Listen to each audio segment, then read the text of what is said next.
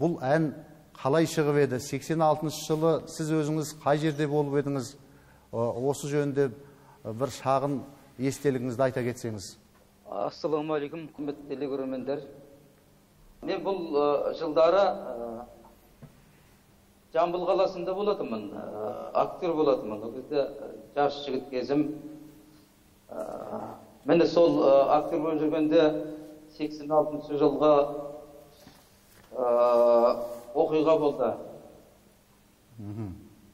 Сексен алтыншы жылы он алтыншы желтоқсан күні басталды ғой бұл нәрсе. Сол он алтысы күні социалистік қазақстан және лет деген газеттерге хабар шықты.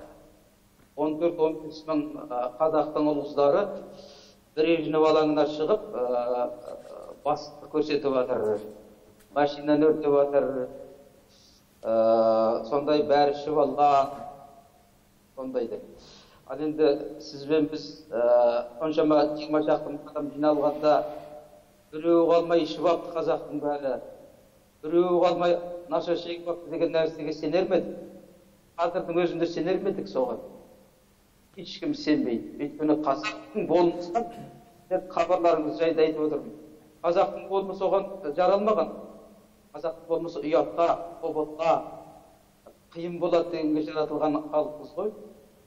Осы үш нәрсені ұстанған халық болса тура бір бір ақ күнде өзгеріп шыға келмейтініне сендім сол уақытта.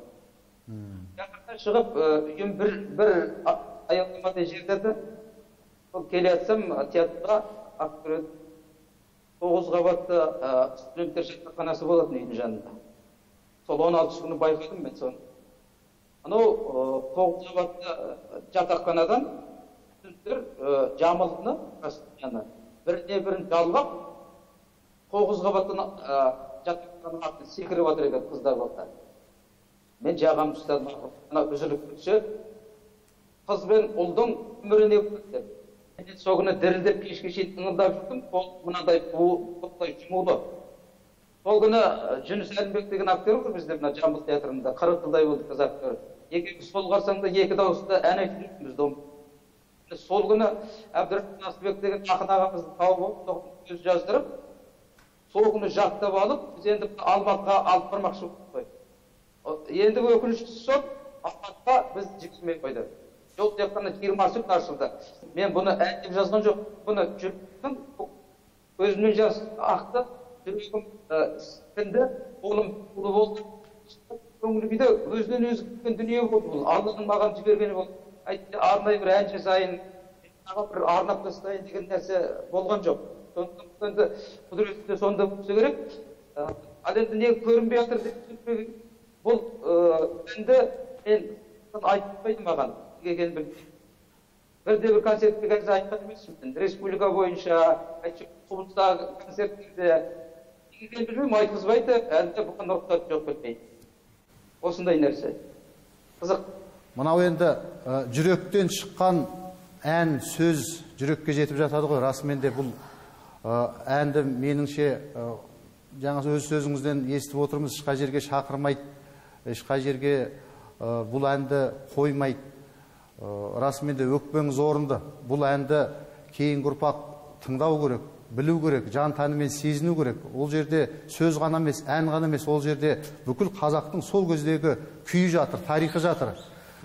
Өкініштісі бұндай арналған әндерді қазір ешкім жібермейді еш сахнада да эфирде де осыған мен дұрыс емес енді біз бүгін осы хабарды арнайы тәуелсіздік жылдарындағы патриоттық отансүйгіштік әндерге арнап жатырмыз. Сол әндер арқылы біз тарихқа өткен күндерімізге біз көз жүгіртсек деген мақсатпен осындай хабарға өзіңіз де скайп арқылы шығарып біраз әңгімелеріңізді тыңдадық.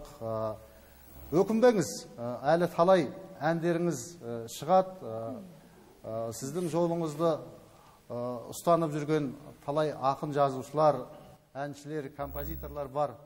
Сіздің әніңіз ешқашанда өлмейді. Ол әр қазақтың жүрегінде қалады. Бұл желтоқсан желі деген ол енді ұмытылмас оқиға ғой. Осы тәуелсіздіктің алғашқы қадам жасаған қарлығаштарына сол кездегі сол оқиғаға қатысқан жастарымызға арналып жатыр. Сондықтан сізге көп рахмет байланысқа шыққаныңызға. Келесі жүздескенше аман болыңыз әбербек аға.